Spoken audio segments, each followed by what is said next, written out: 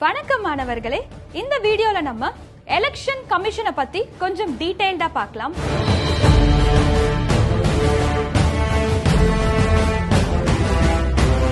Election அப்படின்றது அரசியல் அமைப்புல part 15ல article three hundred and twenty ஃபோர்ல இருந்து three hundred and twenty nine வரைக்கும் இருக்கும்.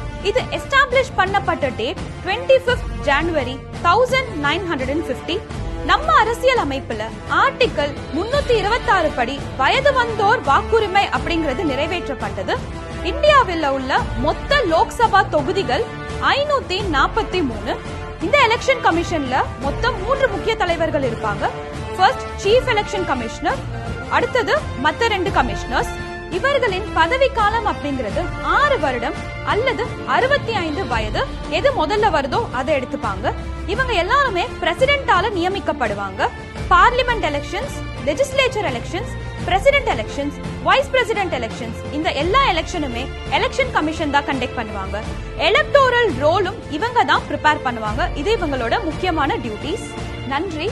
வணக்கம்.